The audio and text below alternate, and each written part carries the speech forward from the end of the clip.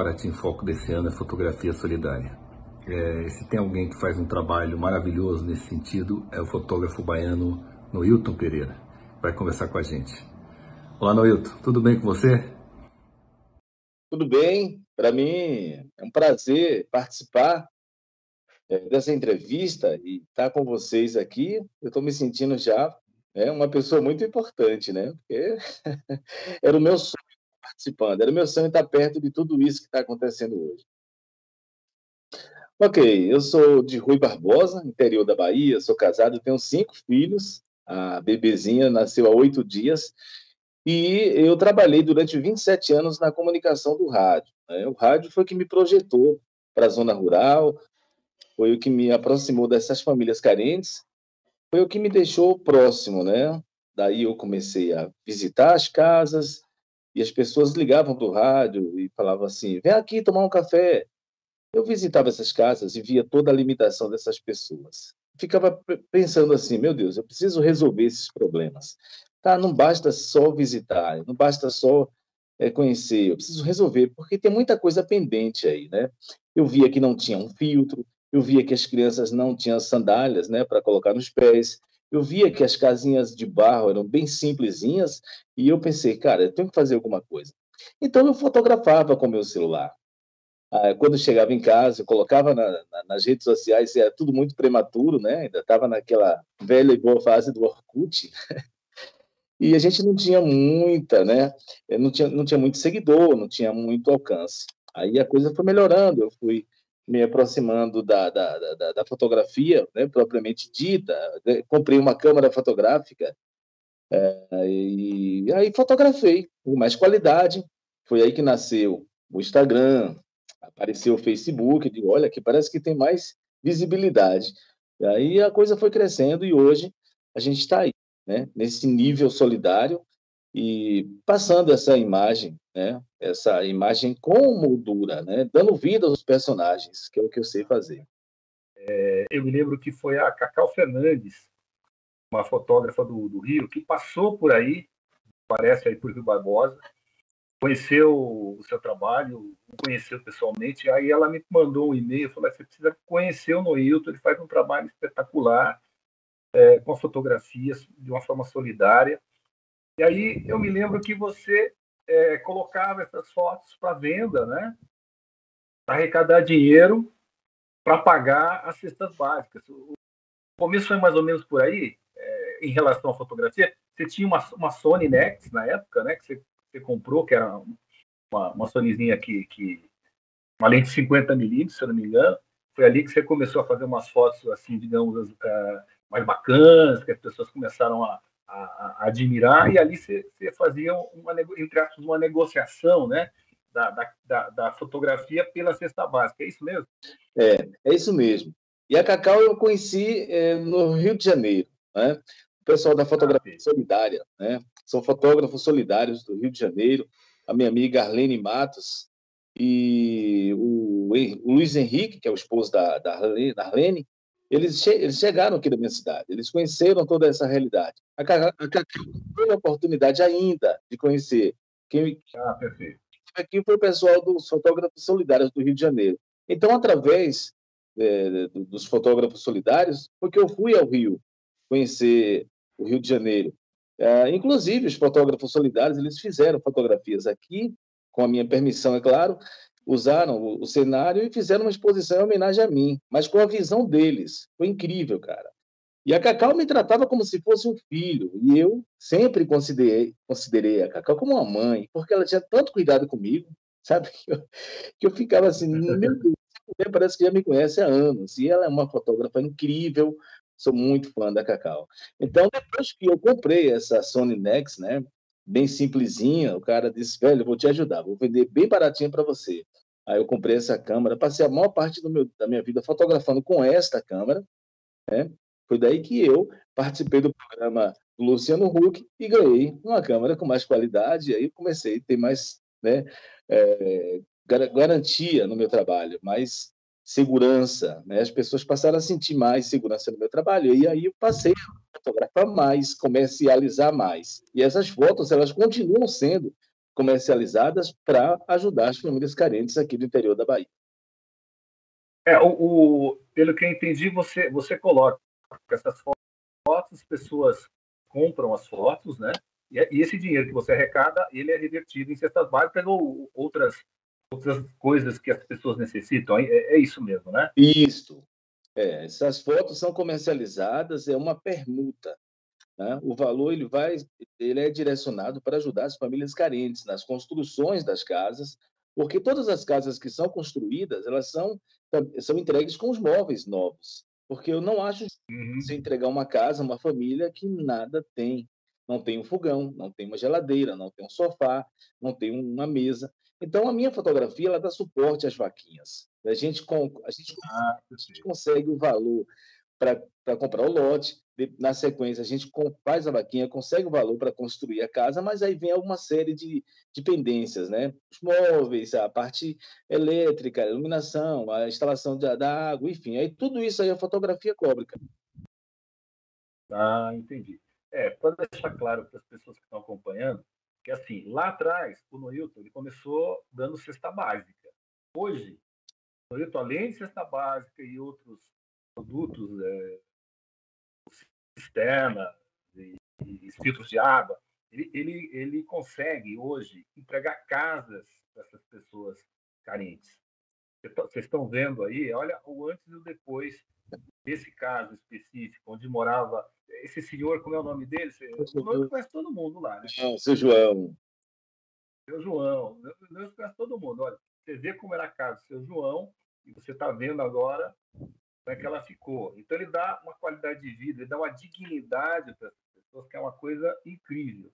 Então, ele começou lá atrás, vendendo foto, né, fazendo a vaquinha para comprar a cesta básica, que ele continua, e agora ele consegue comprar primeiro o terreno, né, depois ele inicia a construção, depois ele equipa essas casas, né, Nélio? Não, volta essa foto, a foto anterior, por favor. Mostra a foto anterior que eu vou contar a história dessa casa. Anterior a essa foto. Isso aí mesmo. Pois, pois bem, essa casa aí, a primeira casinha de barro, é a casinha da família do Luquinhas. Nesta casa, acreditem, morava 18 pessoas, cara.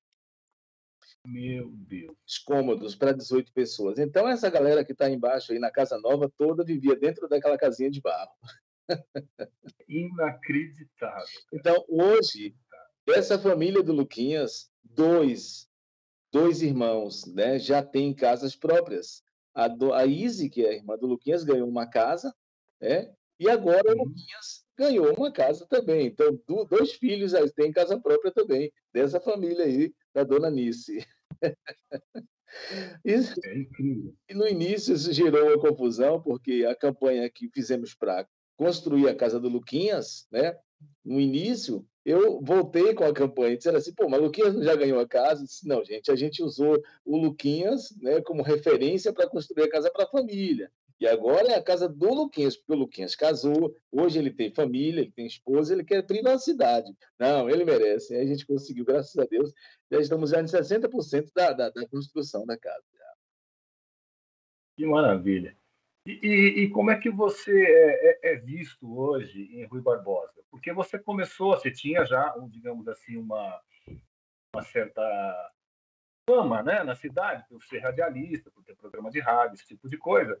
E hoje, logicamente, você é um personagem de, de Rui Barbosa, mas você transcendeu os limites de Rui Barbosa, né?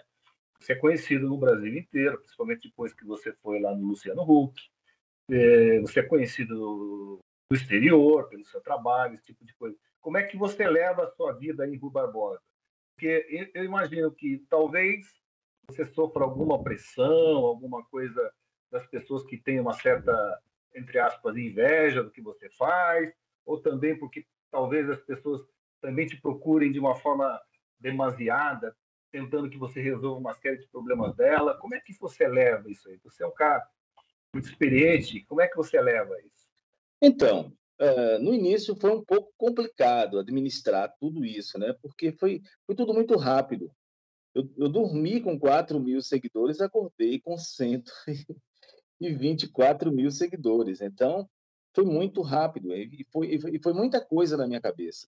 Mas eu, em momento algum, eu perdi a postura e mantive sempre essa, né? esse objetivo de ser igual a eles. Eu, não, eu nunca quis ser diferente, nunca quis ser visto ou considerado como o, o, Salvador, o Salvador da pátria, a luz no fim do túnel, né? o cara que vai resolver o problema de, de todo mundo. Não.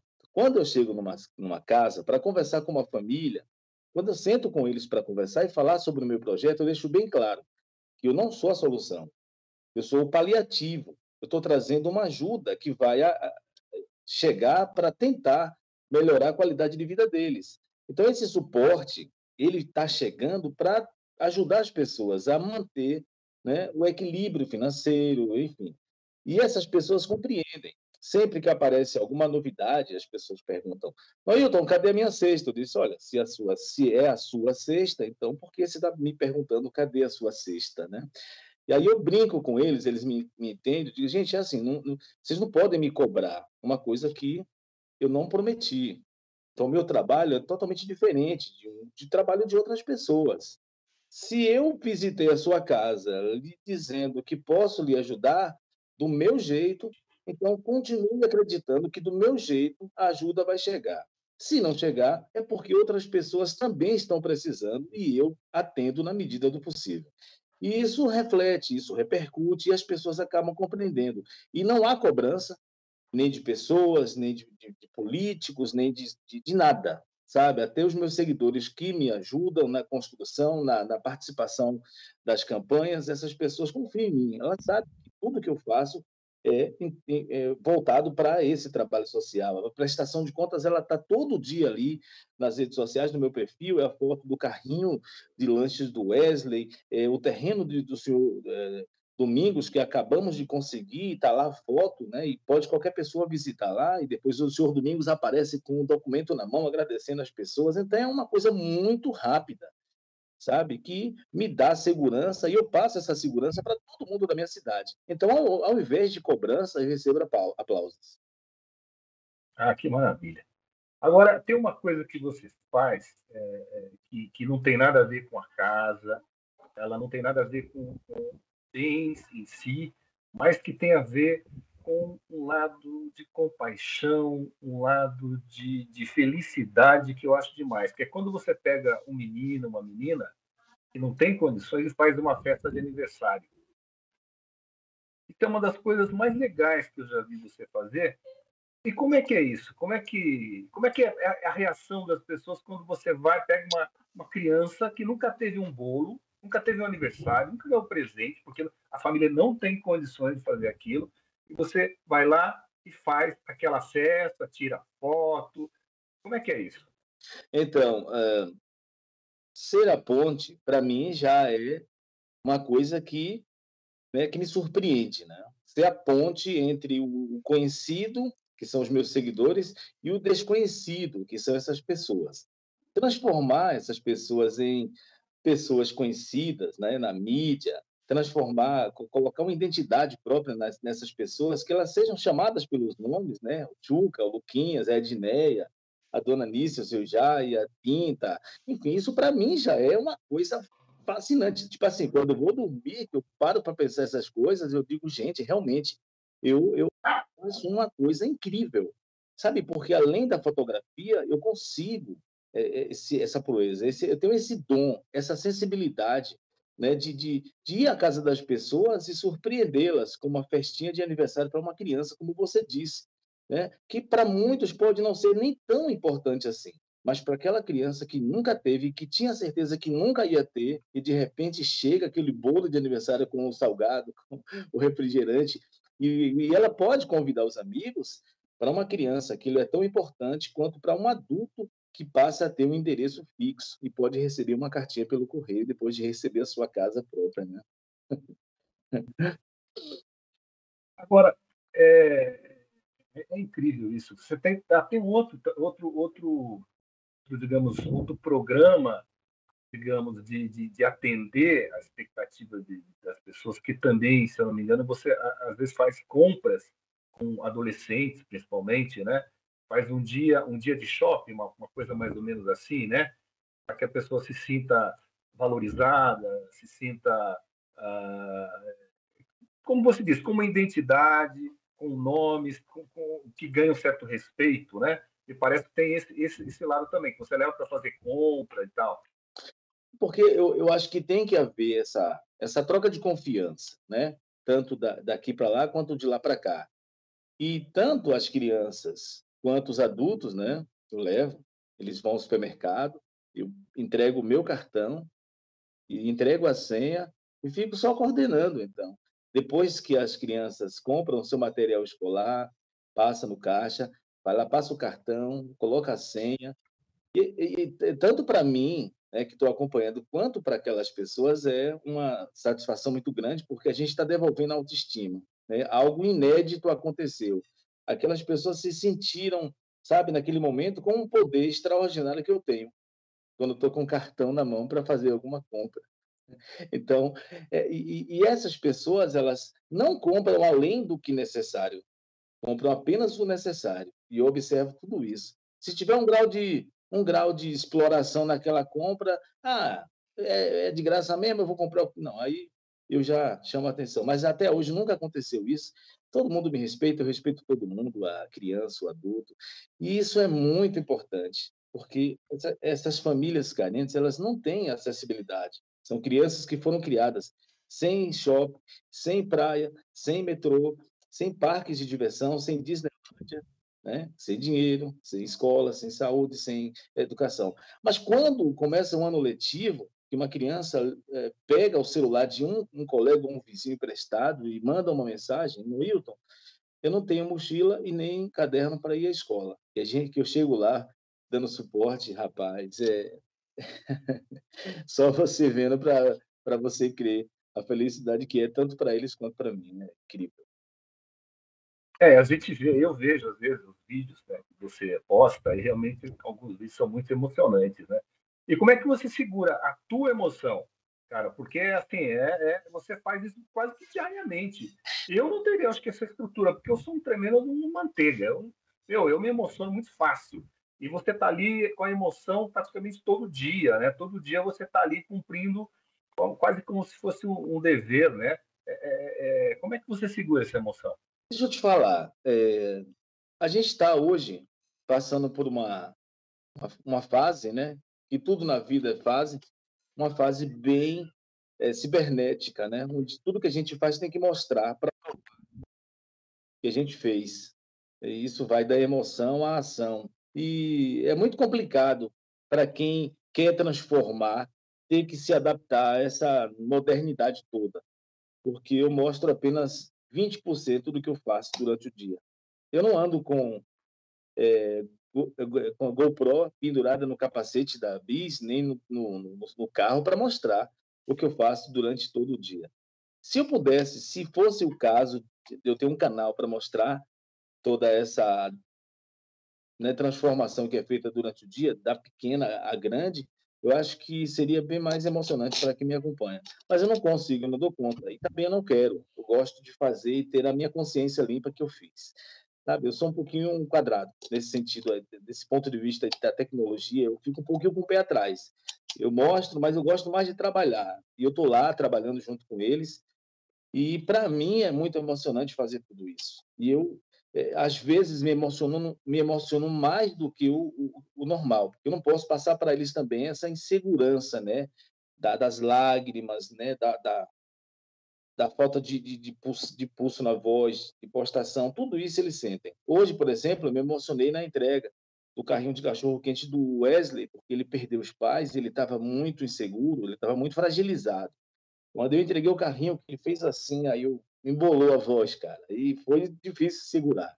Me emocionei muito também quando eu visitei a casa dessa senhora que eu estou construindo a casa, a dona Pinta.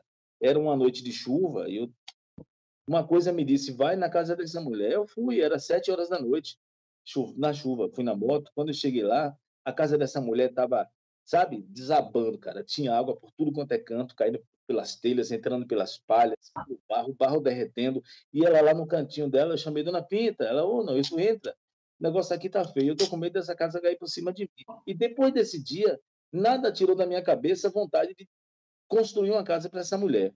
E recentemente eu consegui e me chamaram para contar essa história em um evento né, em público e eu não aguentei, chorei. Foi uma coisa muito bacana, porque eu consegui desabafar, eu consegui mostrar, sem sensacionalismo, sem querer usar a pobreza como moeda de, de, de sabe, de, de, de, troca. Eu acho que a gente não pode nunca misturar as coisas. Né? Tem gente que confunde a emoção com é, o sensacionalismo. Eu sou contra quem faz sensacionalismo com a pobreza.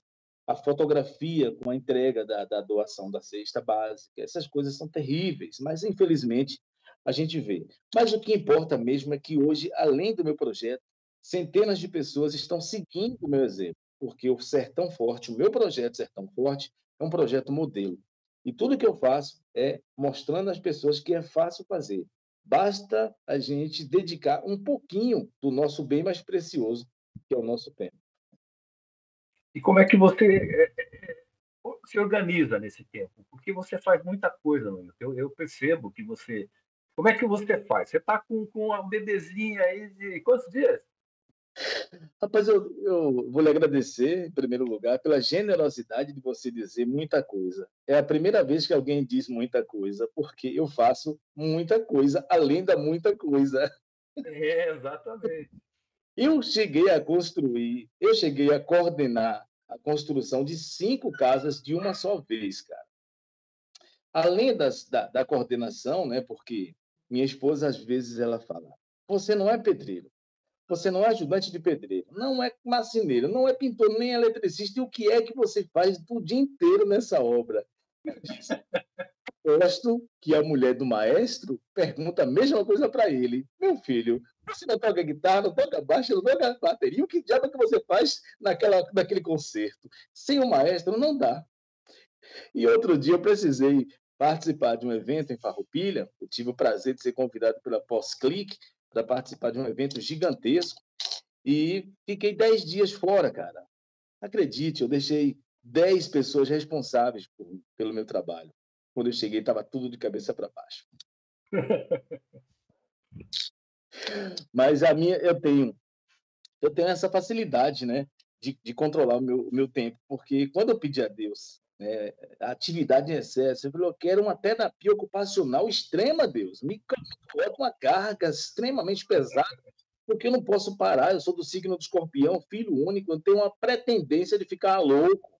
Eu sou, eu, eu sou seguidor eh, de, de, de, de, de Ariano Suassuna, eu sou fã de, de, de, de Leandro Carnal, então eu estou seguindo essa galera, eu adoro o Paulo Coelho, descobri uma coisa incrível, que o livro né, é, é, é, de Paulo Coelho, esqueci o nome do livro agora, mas se algum fã de Paulo Coelho tiver aí, vai me lembrar depois. É? E era a história que ia contar baseada no livro, mas eu acabei esquecendo o nome do livro. Mas ah, são influências muito fortes que me fizeram ir para frente e seguir uh, o meu sonho, né? É, ouvir, ler e, e assistir né, esses pensadores. Mas é isso. E, e, a fotografia? Como é que você consegue, né? Também porque você tem que organizar todo todo todo o seu trabalho de, de, de prestação é, na, na, área social e, e, a fotografia. Como é que você consegue conciliar isso com a fotografia? Porque você também tem que produzir material, né? Que foi ali que começou tudo, né? Sim. Só lembrando, só, só eu lembrei, né? Com a ajuda do Google aqui, Verônica decide morrer, que é, é, é eu, eu, eu, eu, lembrei de vários, eu falei, não vou chutar, eu não vou chutar. Vieram vários, assim, né? Era esse o caminho que eu estava tentando trilhar. Então, o livro deu origem a, uma, a, um, a um, disco, uma banda da, da, da, da Inglaterra gravou, Verônica, Verônica Decide to Die, que foi um livro, um, um, álbum baseado no livro do Paulo Coelho. Então, eu passava a vida inteira ouvindo Saturnos, que é a banda. Assim, se os caras conseguiram se influenciar pelo livro, será que para fazer um disco, será que eu não vou me influenciar pelo artista, pela música, para fazer uma fotografia? Aí eu tinha que escolher alguém, né? Que não foi Paulo Coelho. Aí eu fui buscar ouvir as músicas de Luiz Gonzaga. Ah, meu irmão. Depois eu li Vidas Secas, não, não, aí não prestou, não. Aí saiu toda essa fotografia que você está vendo aí. Porque quando eu vi Samarica Parteira, eu disse, vou fotografar a, tra a trajetória todinha de Samarica Parteira, da saída de casa até a hora que ele chega com a parteira para fazer o parto da mulher no meio do mar sertão. então são influências, cara. E a gente já tem né, um, um, um pano de, de, de, parede, a gente já tem um wallpaper pronto, que o sertão, o sertão tem cores, o sertão tem forma, o sertão tem uma moldura, a gente não precisa fazer nada, só apertar o dedo, só clicar. O mandacaru, o pôr do sol, o, o jegue, a casa de a, a, a, o retrato das pessoas já é uma coisa fascinante. E me lembro que, que assisti né, um, um curta-metragem brasileiro, Amor Só de Mãe, que tem uma fotografia maravilhosa.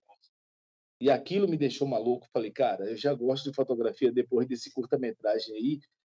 Então, depois disso, eu fui também. É, participei de, de alguns filmes, né?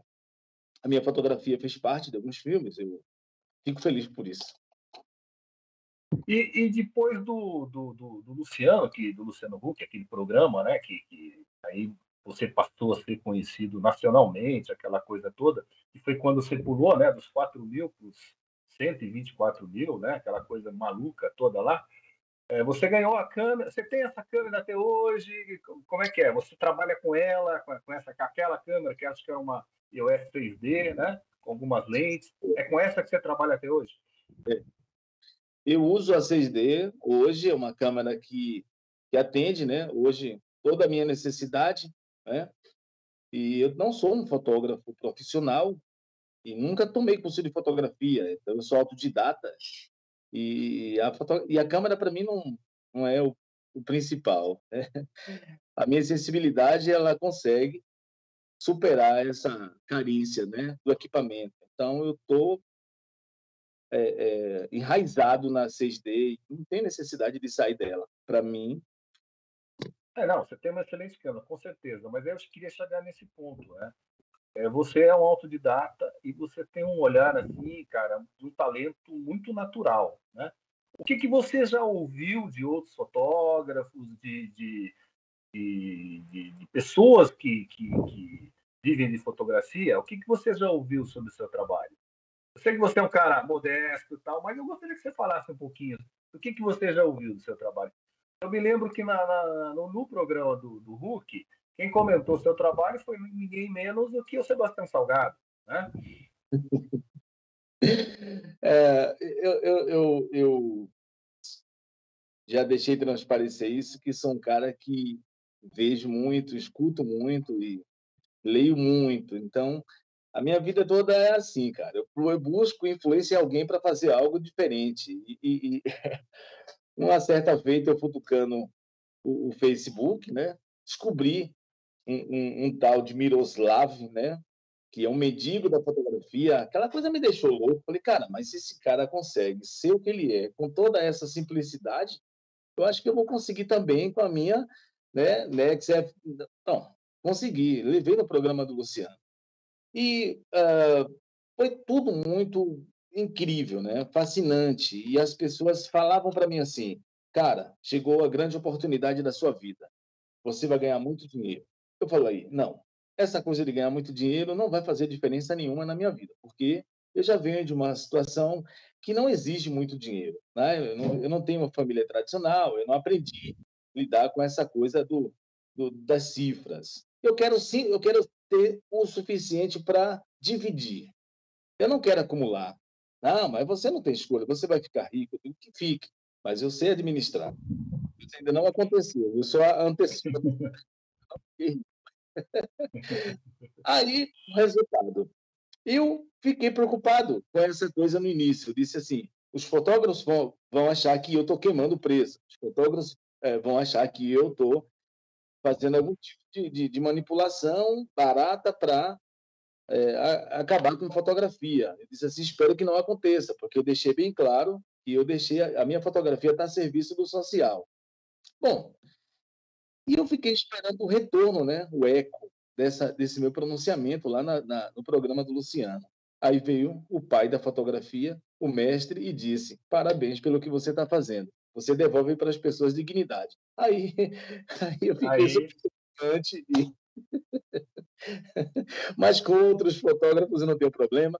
Sou muito amigo do Araquém, sou fã do Araquém e centenas de outros fotógrafos que sempre falam comigo, me procuram e me elogiam. Eu faço e eu, eu retribuo tudo isso que eles fazem por mim.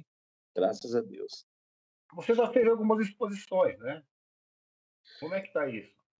Então, cara, assim, foram praticamente cinco anos, né? Intensos de exposição, palestras, fórum e participação em programas e foi uma loucura, né? Mas as minhas as minhas exposições elas me trouxeram assim uma, um, um fruto maravilhoso, né? Uma recordação muito boa do que eu fiz, porque eu expus bastante. As pessoas usaram a minha fotografia para expor as minhas ideias. Olha que maravilha! E olha que eu nunca imaginei que um dia um grupo de pessoas fossem se reunir, pintar telas a, a óleo sobre tela da minha fotografia. Isso aconteceu em Santos, né?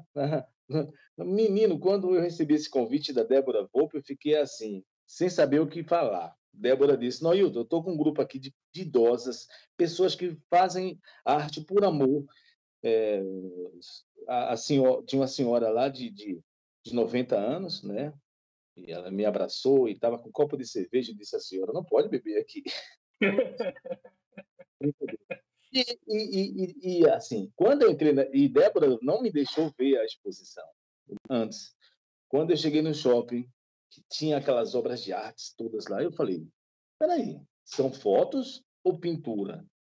Aí disseram: são as pinturas essas senhoras aí pintaram as suas fotos. E falei, caramba, meu irmão, o que é isso? E foi um momento mágico. E eu, eu não, não, eu lhe confesso, eu nunca tinha ficado tão emocionado com, as minha, com a minha exposição das minhas fotos, tanto quanto eu fiquei naquele momento, quanto reproduziram na olho sobre tela a minha arte. Aí eu vi que realmente a coisa estava engrenada. Né? E, e, e, você participou, você falou agora há pouco tempo que você foi para Farroupilha, era um festival de fotografia, o que, que, é, o que, que era exatamente esse evento? Que eu não, não ouvi direito, não, não consegui entender, desculpe. Deixa eu te falar, é, e eu passei também a despertar na, nas pessoas essa vontade de ouvir as minhas histórias. Então eu passei a fazer as palestras motivacionais. E lá em Farroupilha eu ah, participei, eu participei de um evento de casamento com 150 fotógrafos, né, os melhores do ah. Brasil. E eu lá, né, é, tipo assim, tinha 150 fotógrafos e eu. Eu era o único que não era fotógrafo. Não, você é um fotógrafo, sem dúvida. E aí me chamaram e assim, ficou todo mundo assim, parado, né? Porque Farroupilha não é Brasil. Para começo de conversa, né? A gente não tá filha.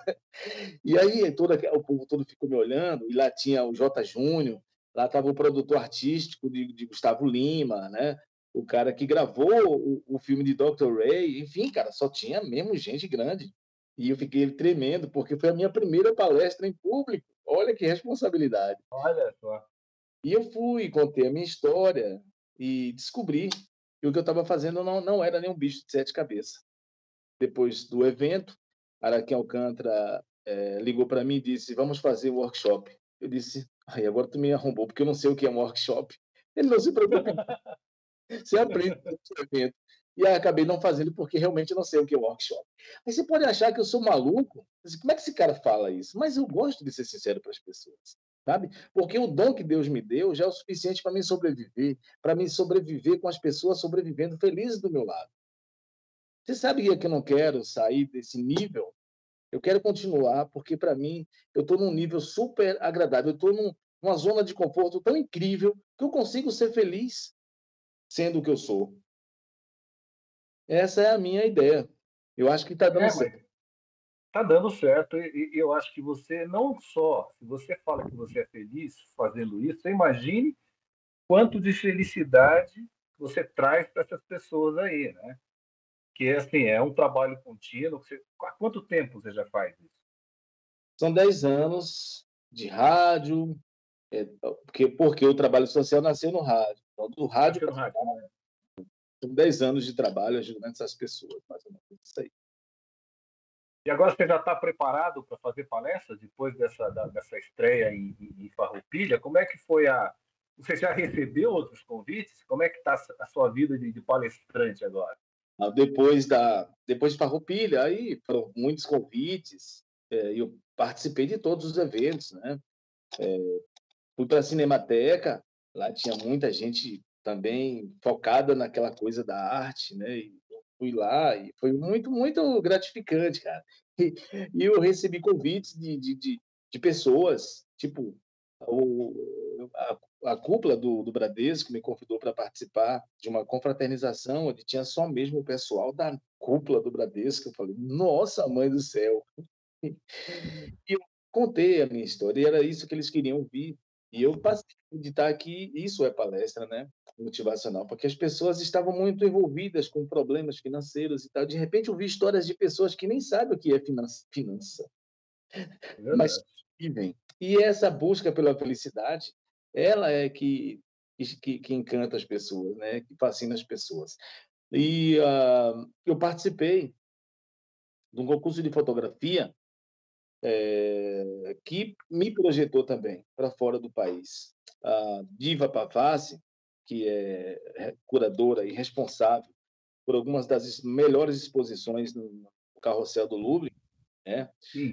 É, ela, ela promoveu um festival de fotografia e 27 fotógrafos brasileiros né, foram selecionados a dedo para participar desse festival, desse concurso. E, e, e, e, era fotografia em preto e branco, algo que eu não sei fazer, né?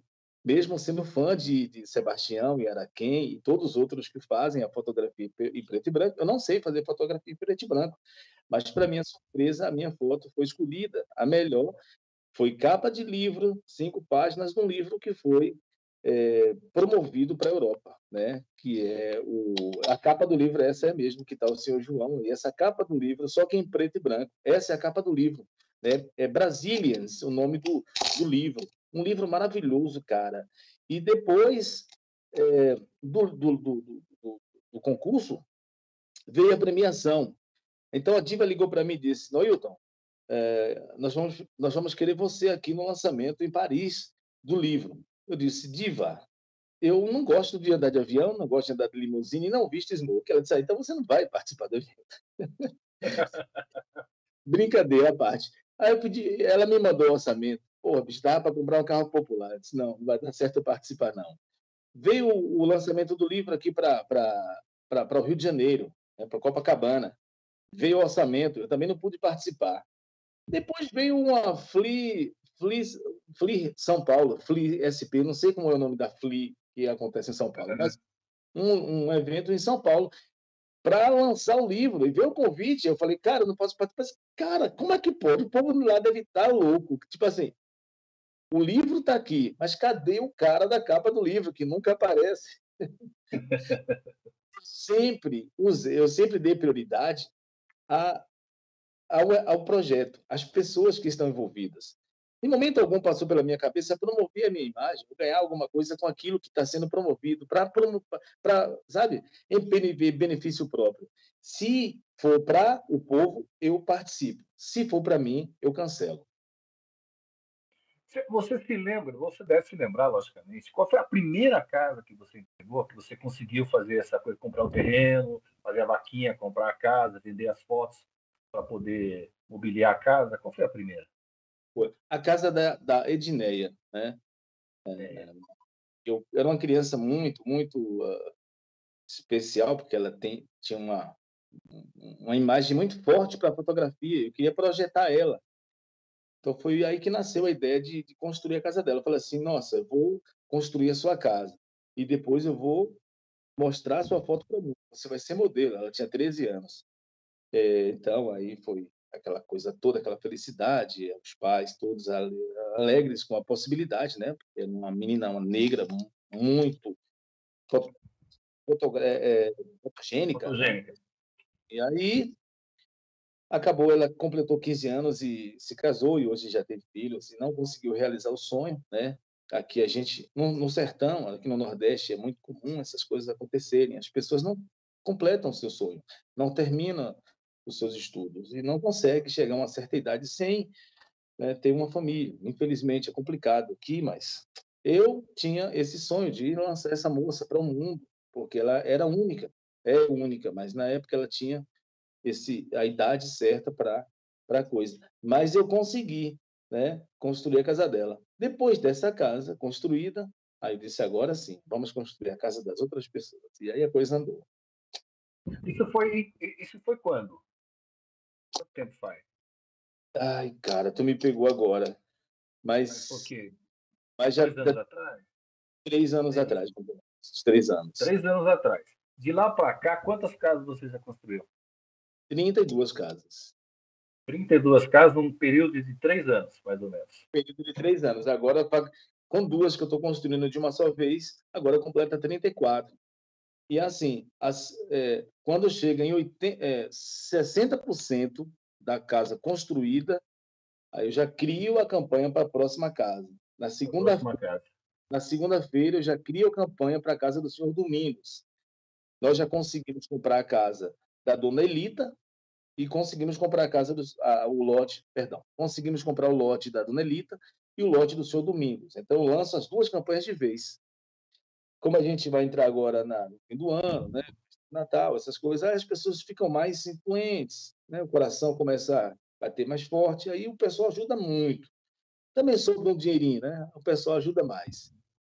Mas é, eu não, não, não fiquei, nesses últimos três anos, sem construir uma casa. Todo mês. Eu tenho hoje oito pessoas que trabalham diretamente para o projeto. É, e só fazendo uma observação aí, eu não tenho voluntários. Né? A gente não faz mutirão. É, ah, gente, perfeito. Todas as pessoas que participam do projeto são remuneradas, do, do, do, do colaborador, do, do, prestador de serviço, a cozinheira, o pedreiro, ajudante de pedreira, é, carpinteiro, pintor, eletricista. Todos eles são bem pagos. Eu deixo isso bem claro, porque já está no pacote da, da vaquinha o valor que é pago para as pessoas. Perfeito. Dizer, além de tudo, você movimenta a economia da cidade ainda por cima. Né?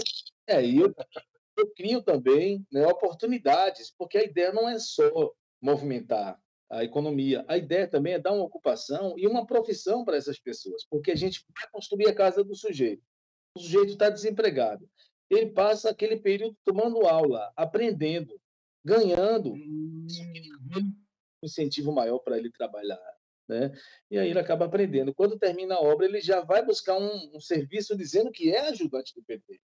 E lá ele, logo, logo ele vai ser promovido a pedreiro, né? Porque essas pessoas, elas só falta oportunidade, só isso.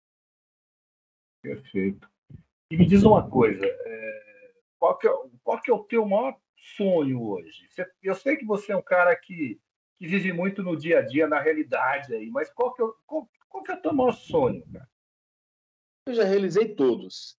Agora, depois de velho, me apareceu aí um tal um NFT, né, que são arquivos não fundíveis. Aí agora eu estou sonhando em ganhar o maior prêmio da fotografia, que é colocar uma fotografia minha dentro de uma galeria para ser leiloada em Bitcoin. Olha que linguagem modernística. Olha só.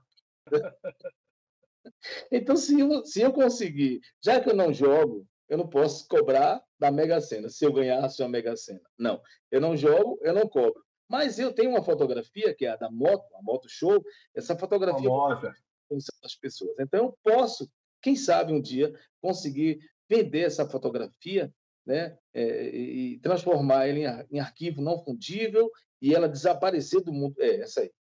Ela vai desaparecer do mundo real, ela vai ficar na mão de uma pessoa que vai saber utilizá-la digitalmente para o resto da sua vida. Mas eu vou consertar a vida de meio mundo de gente, cara. Acredite, esse é o meu sonho. E essa, essa foto é a que você mais gosta ou não? Não entendi, perdão. Essa foto é a que você mais gosta ou não? Você não tem uma foto preferida? Não... É difícil. É, é, quando perguntam qual dos seus filhos você mais gosta, você diz, é impossível. Ai, eu gosto de todas. Então, cada fotografia minha me traz uma recordação diferente, né, uma emoção diferente. E essa daí, ela, ela, ela tem um potencial, ela tem uma história, né? Ela tem uma criatividade muito grande, ela tem uma sensibilidade. Mas ela talvez não seja a minha de cabeceira. Né? Mas qual é a história dessa foto? Como é que, que, que você, ali no momento, como é que foi essa história desses meninos montarem essa, essa moto, entre aspas, aí? Então. Você que foi uma direção ou foi uma coisa natural, uma coisa espontânea que rolou ali?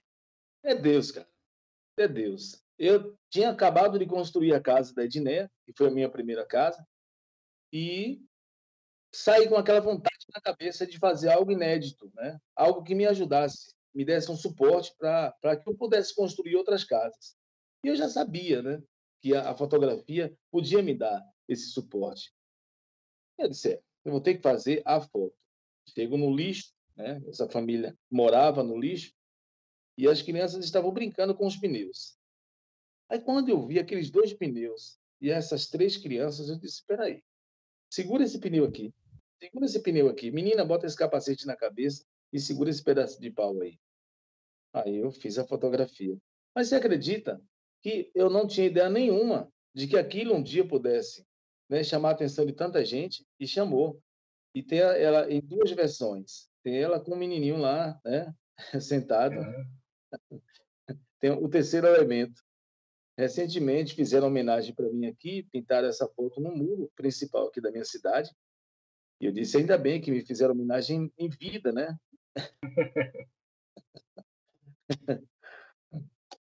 Eu sei que você não tem nenhuma pretensão política, mas você já foi convidado por algum partido, alguma alguém da cidade para falar, ah, você precisa aproveitar a sua fama, essas coisas que acontecem aí com esses caras?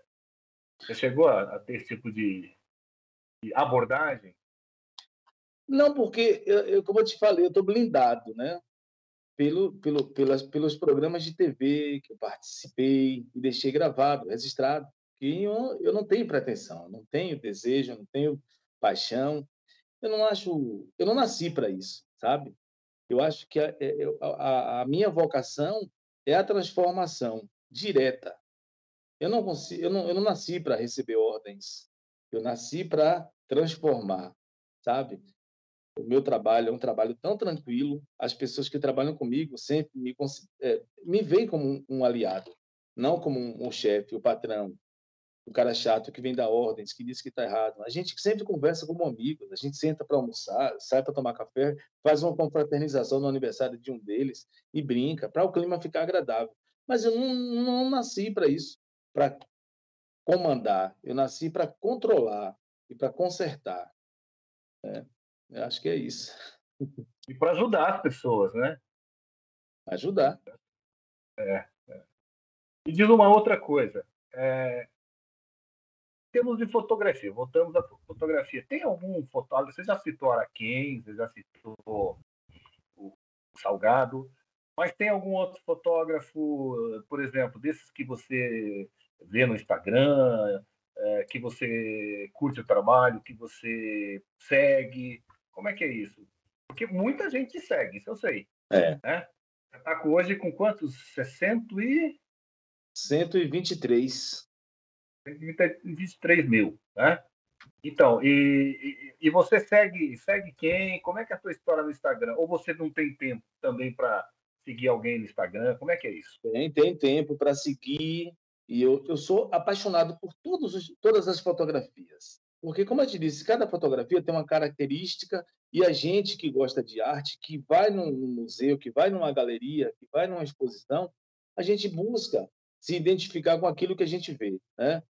e às vezes alguns vão além. Você lembra do episódio que esqueceram os óculos lá no.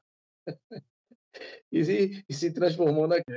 toda. então é isso. E eu, é, é, eu sou fã de todos, mas quando alguns fazem algo de, de diferentes, né, aí me chama mais a atenção. A atualidade. Na atualidade, eu sou fã. Eu sou fã e gosto muito do Rinha. Rinha é um fotógrafo é, francês, né, que fez uma fotografia que para muitos podem ser tão simples, mas aquele cara conseguiu colocar uma, uma criança na frente de, uma, de um elefante e fez uma fotografia tão mágica, tão magnífica, que aquilo me encantou e eu não consigo esquecer. Né? Talvez ele tenha me despertado meu sonho pela, pelo, pelo prêmio maior da fotografia, porque o Rinha conseguiu vender essa fotografia para um sheik, foi muita grana, e ele ajudou a família dessa criança, né? E, é, e assim, eu me inspiro muito nessas histórias para criar as minhas histórias também. Foi esse o motivo pelo qual o Sebastião Salgado aceitou receber uma equipe de TV em casa para falar de um João Ninguém, né, de um desconhecido, porque ele, ele, ele tem motivos de sobra para falar de tanta gente, mas eu fui o felizardo. pelo meu, Bom, primeiro... pelo meu, é, pela minha humanidade, pela minha visão humana das coisas. E Sebastião é exatamente assim. O Sebastião ele não simplesmente fotografa. O Sebastião ele enxerga a alma das pessoas. É verdade. Mas olha, a gente está terminando. O papo tá, tá, foi muito gostoso. Eu acho que muita gente vai, quem não conhecia, vai procurar seu endereço na, na, na depois a gente vai colocar aí no Instagram. Primeiro, é, você não é nenhum você é o Noito Pereira, um cara que faz um trabalho espetacular, que une fotografia e solidariedade de uma forma que eu nunca vi antes. Você é um cara que em três anos, você sozinho conseguiu dar mais casa para a população carente que vários governos durante vários anos, várias prefeituras. Eu duvido que aí algum prefeito de Rui Barbosa, em qualquer tempo, tenha conseguido fazer o que você fez. Tá? Para não me estender em política, que não é o caso. Mas olha, foi um prazer imenso falar com você. Eu torço para que você tenha muita saúde, que você viva muitos anos, que você ajude muita gente, porque esse país milhões de noiltos. Se a gente tivesse mais noiltos nesse país, esse país seria muito melhor. E eu fico, eu, fico, eu estou muito é, grato por você me atender, por você dar entrevista para a Fotografe. Nós tivemos o prazer de, de apresentar seu trabalho na edição do E54, depois você recentemente fez parte de uma outra edição sobre é, contraluz, que você usa a contraluz de uma forma magnífica também, como a gente pode ver. E muito obrigado, Manuel, por você ter atendido a fotografia e por ter participado com a gente do, do Paraty em Foco. Muito obrigado a vocês, de coração, e espero continuar contribuindo né, para a fotografia em si, né, contribuindo para o nosso livro de história. Né? Eu sou um historiador, eu conto a história do meu povo. A minha fotografia está a serviço do bem-estar social e eu acho que é justamente por isso que eu tenho recebido tanto, tantos aplausos. Né? E estou aí sempre perto de vocês, participando de todos os eventos. Em nome de Jesus, a gente vai vencer essa pandemia. Vou pedir às pessoas que continuem sempre respeitando o próximo. Né? Acho que a ideia é essa, respeitar o próximo, distanciamento social, higienização de mãos, enfim, né? para a gente poder sair desse problema, dessa problemática, receber o nosso novo normal. Tem muita história para contar, muita fotografia para fazer. Obrigado, Newton. Gente, valeu a força, gente. Obrigadão.